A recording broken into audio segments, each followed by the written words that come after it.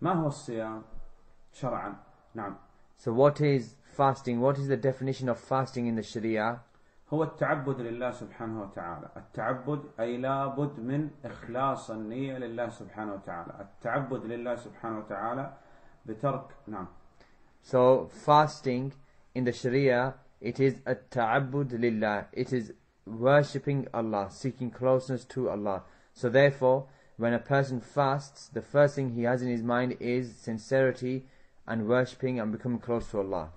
بالإمساك عن الطعام والشراب وسائر المفطرات So it is a ta'abbud lillah bil imsak. It is to worship Allah, to seek closeness to Allah through staying away from eating and drinking and all the other things which break a person's fast. Eating and drinking and all those other things which break a person's من fast. طلوع الفجر الصادق إلى غروب الشمس From the true sunrise to sunset.